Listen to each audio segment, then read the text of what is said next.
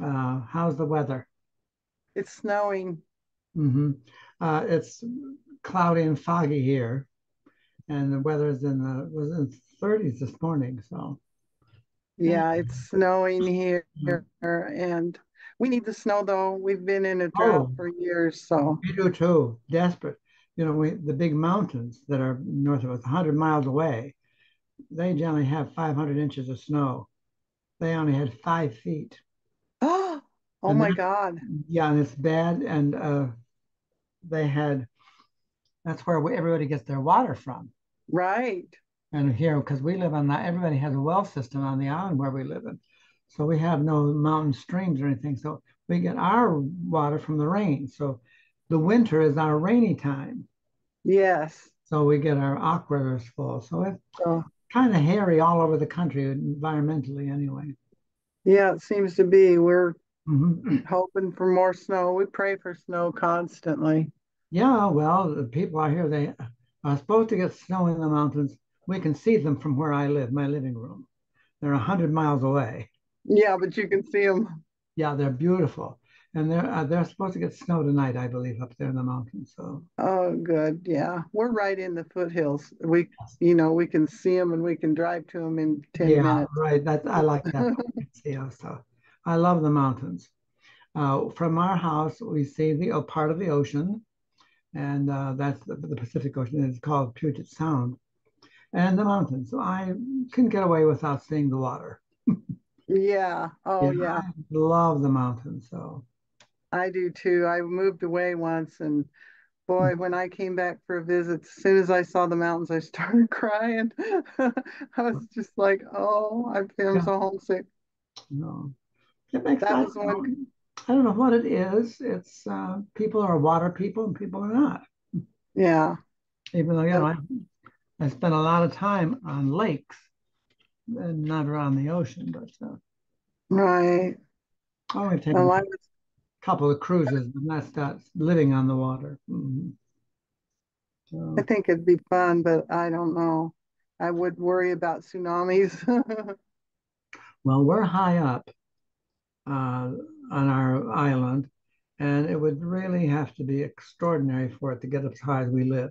But we Oh, have people three levels down below us that are down in the water, four levels below. They would be wiped out. oh, but you wouldn't. Okay. Mhm. That's good then. Yeah. Then, then there we have what they call high bank dwellings. The banks wash out and the houses go down. Yes, So yes. We're I see up on California. Yeah, on the water edge. So okay, I guess we can probably Okay, it's we got 3:53 according to my watch. yeah, we're doing good. Okay. So, Had any inquiries or anything? um, your friend is not going to be able to come today because she's sick, but she's planning to come next time. Okay. And she realized that it's it's for uh, answering questions and discussion. Yeah. Yes, I explained she the whole, she runs her own workshops, and uh, she's always been after me to come and take them, but I I don't want to go. you don't want to go off island, do you? No, uh, but no, I, I I feel I know more than she does No, because I, of my own experience. Uh-huh. and then that's not putting her down. What she does is very good. Yeah. It's not what I would be needing to go to her for. Mhm. Been Okay, so I've been at you for a while. it, for those of people who are listening and viewing this broadcast, if you have any questions, please uh, text them to 970 2 uh-oh 921 9582. Yeah. That's 970 921 9582. Okay, you got it. Yes, I've had so many phone numbers in my life, I can't keep track of them all. I have about six or seven uh, for you on my index card. I know, I know. I'm going to ask you later which ones are real. this one is real. 970 921 9582. All right. And uh, so today we're going to be talking about how to tell if your guides are trying to contact you.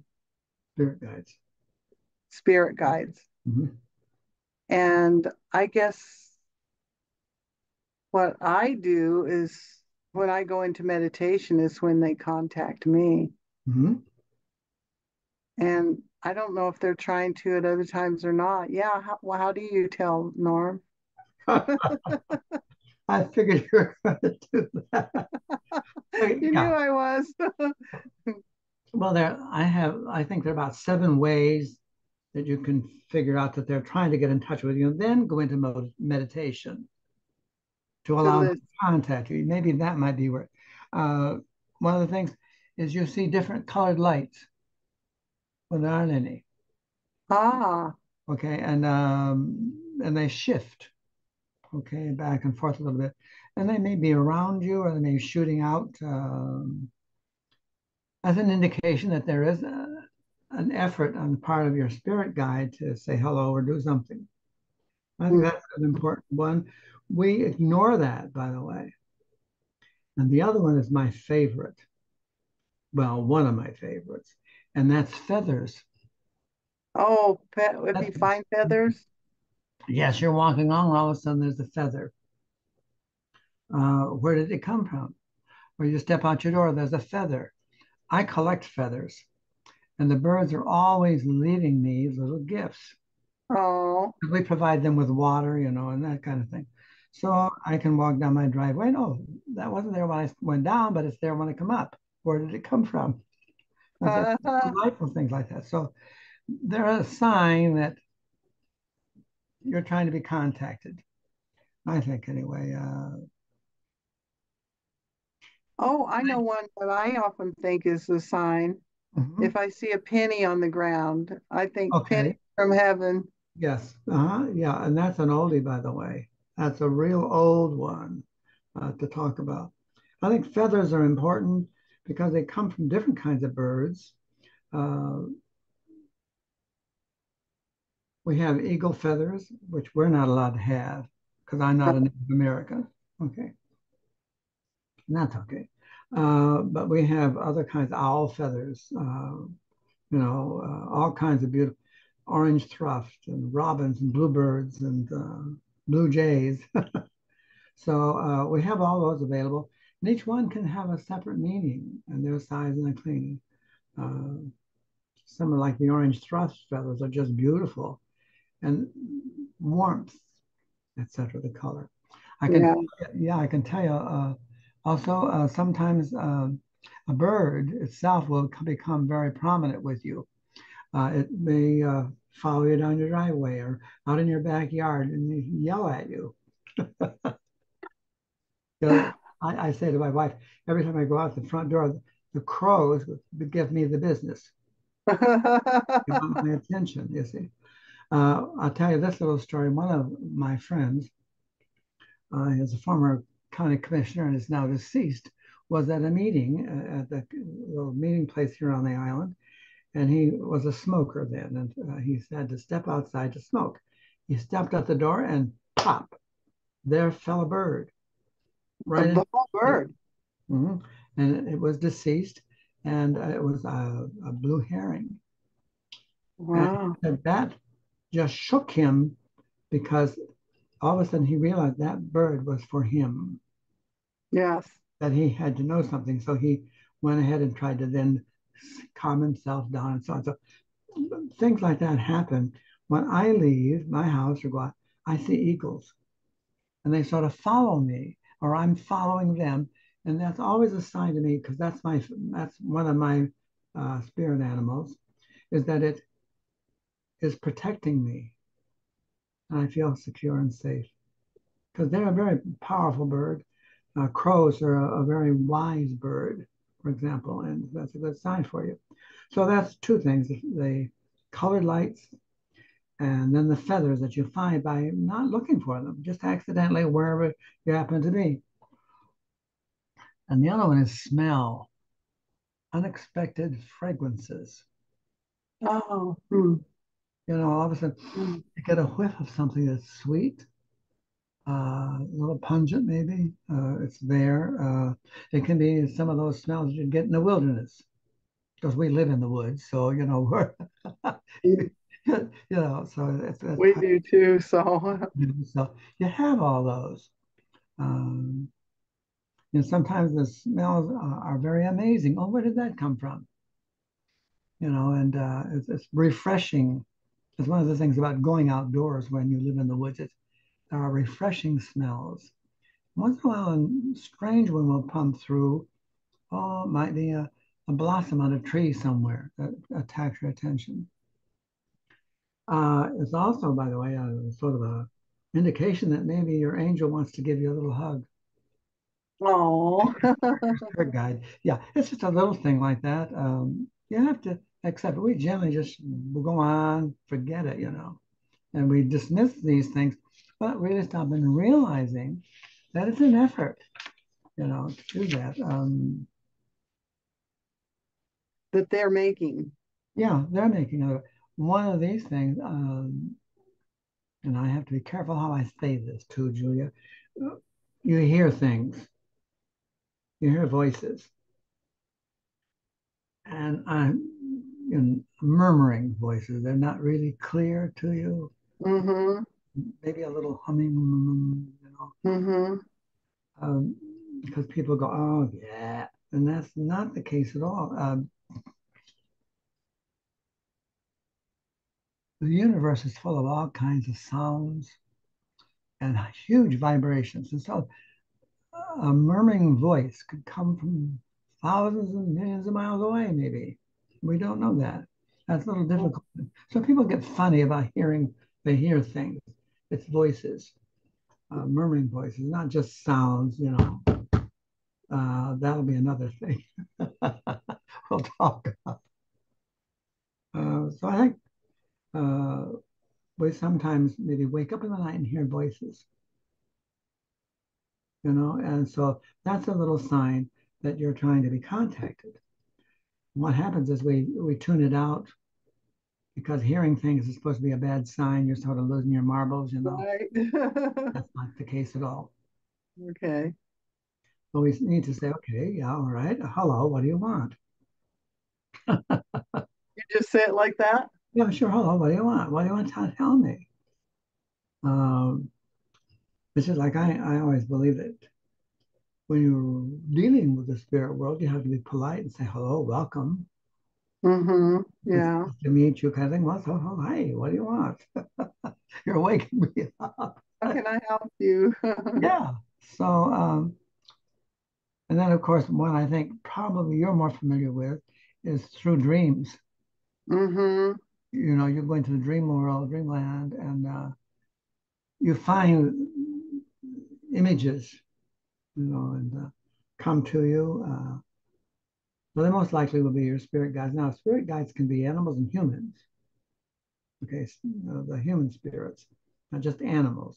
I Yeah. mentioned that, and maybe that people don't realize they can be humans. Uh, it doesn't even have to be a loved one. It can be a friend or someone you have not met before who's wanting to contact you for a reason, uh, particularly your world in which you've been doing for years. They may want to say something to you to have you do something, you know, some message for you personally. Right. Have to be careful that we don't just throw these things away and say, ah, you know, it's um, crazy. Not like, you know what I've been getting is songs. mm-hmm, All of a sudden, the lines of a song will go through my head, and they'll usually be uh, an answer to something that's been concerning me. mm-hmm. Hmm, isn't that interesting? Yeah. And Often you, songs you know, I haven't thought of for years and years. yeah, and what do you do about it? Um? I use well, I usually go on the internet and look up the uh, lyrics to the and see what the message is, sure. yeah. Mhm. Okay.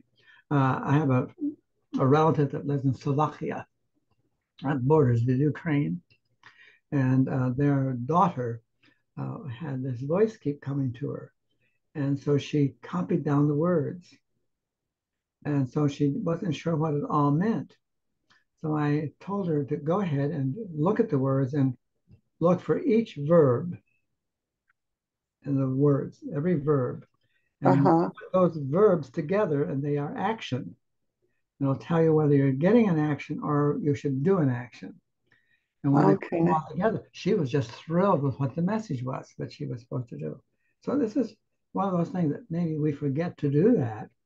This holds true for your dreams too. That if you have your dream, don't get up and suddenly write it down. You're not going to go back to sleep then. you know, you, you broke the sleep pattern. But when you wake up in the morning, remember what you can of it and jot it down, not in detail, but some key words. Uh-huh. And look Keyword, at you what those key words mean. Uh, especially action verbs. yeah. So um, I think those are those are good clues uh, as to what goes on. Um, mm, oh, this one fits for my wife. She loves clouds and is always photographing them. And you, you've seen some of her photographs, of course. Uh-huh. She's a Uh, very good yeah. artist. So she she loves the shapes of clouds. You remember when you were a kid, you used to lay on your back looking at clouds and name what shape Uh-huh. you see? Yeah. We do that in the car. She'll say, "Oh my goodness, look at this! Somebody floats floats going around. I gotta stop. I gotta drive the car." She loves getting the pictures of them, so she's always got cameras with her wherever we go. So cloud formations can also give you a little clue that it- it's a particular shape that has been like a bird, a clown, uh, you know, anything, an animal, a building, even sometimes it looks like a balloon floating in the air, etc. So that, uh, oh, I think is, is a good one is to do that with cloud formations. Uh, you might even see wings. Uh, I put up a photograph of one of the moon settings she took on Facebook recently. And when you looked at it, I said, okay, what do you really see? Well, some people saw an angel. Other people saw the moon shaped as a heart. Uh, it was just interesting how the different shapes they saw. Okay, all were positive. No negative, no threat from that. That was kind of the thing I thought was very good. Um, there are books on dreams and dream symbols. I don't want to get into all that, but um, I think one of the ones we forget also is an easy one. Um, a sudden change in temperature. You suddenly feel chilly, Mm-hmm. or you suddenly feel very warm. And uh, or you feel a warm breeze around you or a cool breeze. That's generally an indication that there is a spirit in the world that wants to talk to you uh, and wants to say hello, even maybe just to say stop by or checking on you.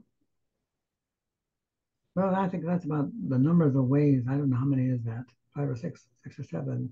That's quite a few. Uh, well, we've got the colored lights, hmm smells, dreams, keywords. Oh, keywords in the dream. hmm Cloud formations, feathers, Temperature. temperature, hmm and uh, oh, I thought of another one. murmuring. Oh yeah, temperature. You Okay. Um, one of my Facebook friends does smudging smoke and asks what you see in the smoke. Oh, good one, good one. I forgot all about that. Yes, it is. That's like um, my uh, great aunt used to do tea readings, Uh-huh. tea leaf readings. You look for the message in the tea leaves. Yeah, smoke. That's a good one. Now, did you know what kind of uh, what do they use for the smudging? Uh, I don't know. I never asked him. Ask him because that would be interesting to me. Because you know, my favorite, of course, is, is to use uh, White Mountain. So I think, mhm. hmm, because there are several kinds of smudging you can use. Uh, Palo Santo, Yeah, which is very good. Uh, frankincense. frankincense. You know, there are several uh, that you can use for smudging and getting the smoke. Mhm. Yeah, and you can see images in the smoke. Sure. Yeah, that's that's a good one. I need to write that one down. I am.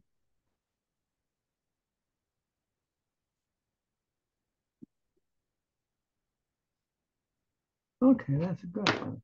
If any of our viewers are Mhm.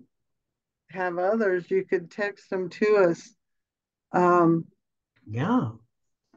and we'll bring them up right now. Let me check the the see if anybody's text a question. So at two forty-five Whoops. PM, Colleen, That I didn't want. I didn't hear, I just heard a noise. Oh, good, okay. All right, I don't see anything on the phone number. Once again, that phone number for questions or comments is 970-921-9582. That's a text number to text something. And I will get it over here on my phone. Okay, I have uh, one other thing now. Um, this is kind of off the wall. Um, if you want to know, for example, that the other images or other things about you personally that would open up to being responsive uh, to a visit from a spirit animal, a spirit in the spirit world. Let's take a large sheet of paper, and I mean large sheets that you're going to get your head on it. Okay, and uh, I sometimes call this a shadow image, shadow portrait, if you will. Uh-huh, okay, And stand in front of a light. Okay, so that your image is shadow of you is put on that paper okay, and see it. So, okay, so uh, try to trace that, just your head. Okay, uh-huh, uh, and transfer that over to a folder and look to see what else transferred with it. Do you see other little images around you? Do you see a halo around you that's on that paper that you just drew? And if you see little images, well, what are they? Can you make them clearer when you look at it? uh-huh, There you are. That's your spirit guide talking to you. wow. Now, I don't generally tell people how to do it. You don't generally tell them why. Well, because well, they get in all kinds of contortion shapes and everything. And it really is difficult. You're just doing a shadow image. Now, if you want to go to one step further, is to take your shadow image that's on your paper, Uh-huh, cut it out on a piece of cardboard paper, uh-huh, two pieces. Make Right. it like a book cover. Open it up, then write whatever words inside came to you while you were doing this. interesting. Say what words? We're telling you what. Oh, I thought of another one. Okay. If you're in your car, hmm you're thinking about something, you turn on the radio and hit search, and wherever it stops, it'll stop on a answer. Oh, for heaven's sake. Radio, stop, answer. Okay. Scan or whatever your whatever your uh, hmm car calls it. Mine calls it scan. I don't know, because that wouldn't work with me at all. I never turn the radio on in the car. Oh, okay. Never have. Never have. And I'll tell you why. now, I know people love playing the radio. Like, oh, that's okay. But it's a distraction to me from my driving. I Suzanne and I do not carry on conversations in the car while we're driving. that's probably wise. Just never have. And that's what we, I was taught uh, when I took driver training back in the 1919. we won't go there. uh, well, I was actually some of the, it was an experimental program out of the University of Pennsylvania on uh, teaching students driver training classes. That was the beginning of them. I was a participant. And they concentrate on your driving, no, no radio, no conversation. And that stuck all these years. I've been driving since I was 16. Well, that's good though. That's a good habit that stuck with you. Other people, it doesn't, it isn't a distraction to them. It's, it's the calming thing of the music that's maybe for them. Yeah, I If guess. day, yeah. So, so I, I'm not bad mouthing. I'm just saying for me, you know, that wouldn't be a good one. But for somebody else, that worked just beautifully. Oh yeah. I I had a girlfriend, she would get the most amazing things. She like one time when her pet died. I can't remember what came on, but it was like right on about very same kind of animal as her pet and everything. Hmm. I can't remember now. Too bad because that was a good story. That's okay. We'll I totally you. messed it up. Oh, we'll forgive you on that one. Okay. Um, can uh, that's the way people text you. Uh, have you had any? Uh, how are we pub publicizing this uh, program? Uh, I'm putting it on Facebook, Twitter, and LinkedIn, mhm. and Instagram. Okay. I'm mad at Instagram. Are you what they do? They won't let me. They won't let you. They won't even let me sign in. I've been a member for years. Two days ago, I've spent all day practically trying to get the thing straightened out because I wanted to put up a promo on one of my books. And nope, can't sign in. Well, I don't know what the problem is. So then I said, well, okay, let's open a new account. Can't do that. They wouldn't let you do that either. No, so I, I don't know why they're mad at me. I've never, I've feeling bad. Well, I'm having trouble like that with the company too. I have I probably sent them like 20 emails now trying to get my account signed. I can't sign in. Mm-hmm. I can't either. And they're they're wanting me to upgrade and I'm like, I'm not going to upgrade when I can't even get your basic program to work. I can't Yeah, even get into it. that that's a real come on. I think that's almost a scam. They that they nasty, but that isn't what Instagram is doing. I don't know what the problem is. That somewhere something has happened in terms of my trying to connect. The wrong letter went up, wrong number or something for the password, whatever it was. And uh, I tried changing the password, and no, your time is up. You'll have to wait. They know enough. They know enough to send me an email, though, don't they? Oh yeah, you can Oh, always get uh, one from them wanting you to upgrade, but you can't get back into even like this company. I might be interested in upgrading, but not if I can't even get in there to see if the basic program, So if you basic programs as messed up as their sign in. I don't think so. I'm looking for a little pad. I have some other places that you might want to do here. Oh, to put hmm to uh, promote the show. hmm I think it's, you know, important to do that. Uh, I have just a few notepads. just a few. How do you keep, you're as bad as me. yeah, so, uh, oh, this is my last book, by the way. Healing the Shaman's Way hmm using essential oils. Oh, that's a good one. Yeah, and that's book four in the series. Book five is, is coming out as soon as I finish writing it. And what's it going to be? It's on uh, vibration. Mm. Vibration healing, that's the biggie. Uh, I'm looking for this. There it is. Okay, you mentioned Facebook, uh, Twitter, Facebook, Twitter, uh, LinkedIn. LinkedIn. How about TikTok? No, I Okay, that's a good one. It's T I K T O K T I K T O K. Mhm. K. Uh, Tumblr. Tumblr. I've never been on Tumblr. Okay, that's T U M B L R. L R no E. No E and no I. Tumblr. Okay. How about Blogger? Blogger. Mhm. Uh, yeah, I do that you one. used to do that years ago at blogger.com. Yeah, I still do that.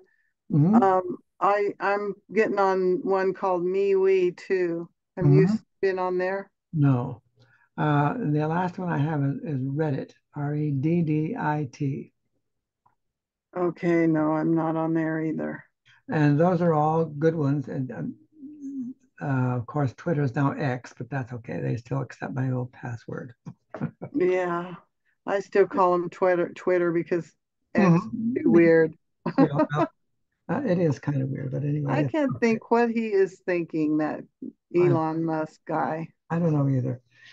So it's just one of those things we try to do, and then um, I try to impose on friends and so on. Sometimes, so, you know, give me a little boost, will you? oh, sometimes I put things on Pinterest. Uh, oh, I left that one out. And I have done that, and I've been, been long to that, been a member on that. LinkedIn. If any of our listeners have uh, have ideas of places we should do this, mm-hmm. please text it to 970 921 9582. Mm-hmm. Uh, and please also YouTube. Oh, YouTube. Yeah. Uh, I know a friend that has uh, a program on there. oh, also I do some on Patreon too. Yes. What was that one? Patreon. Oh yeah, I forgot about Patreon. I don't know why. And they have a news feed, so we should be putting stuff on there. Mm-hmm. So that's good. Okay. I've got two different ones that I haven't thought about doing. The problem, here's the issue. For me, okay, I have to squeeze time in to do that. Yes, and it's time consuming. It is very time consuming uh, because I'm, you know, I don't have it all organized so I can just go zoom in, zoom out. I have to go to each one, put on what I want, you know, because each one's not going to necessarily be the same. Yes. Or the same format's allowed. So it takes me a while. I looked at somebody doing that one time, and my goodness, they want such an outrageous price. I couldn't even make it to afford it. Oh, I decided I just have to go along the way I am because.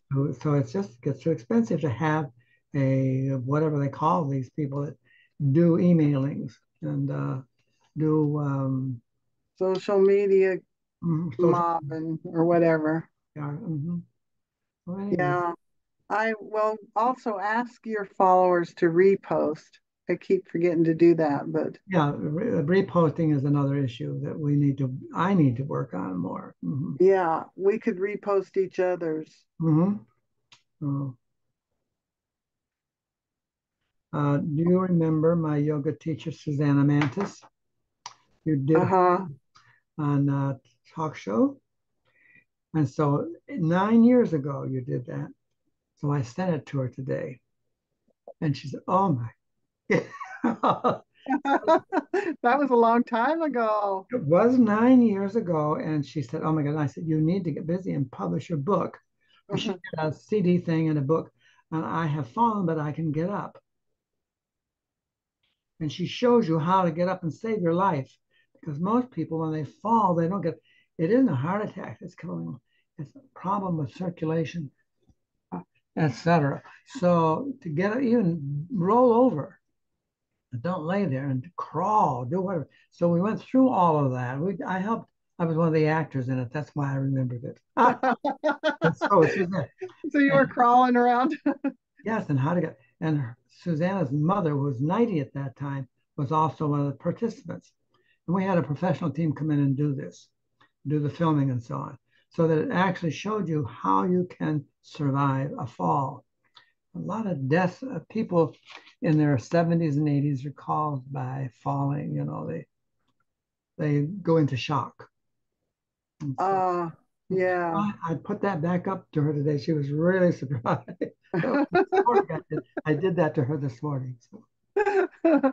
uh, Okay, well, I also want to put out a call right now to anyone who's listening who would like to participate on the this is intended to be a panel. So mm-hmm. far it's a panel of two, but we are open to having other people participate for sure. So let me know if you're interested in being on the panel.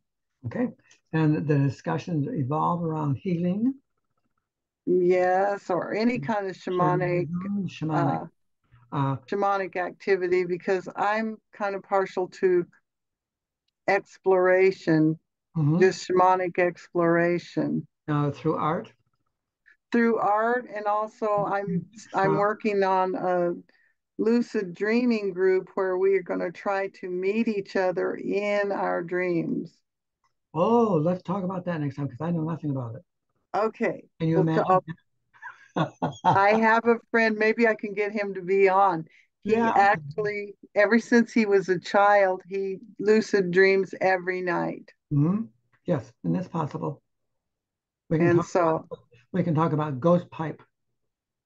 ghost pipe, Yes. all kinds of stuff. Okay, Helping- so helping lucid you- dreaming, Helping with helping you with your lucid dreams.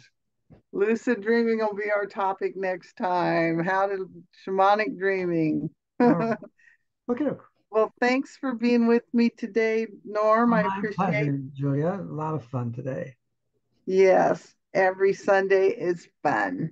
Yes. Okay. Sunday fun day. Shalom. Namaste. Good.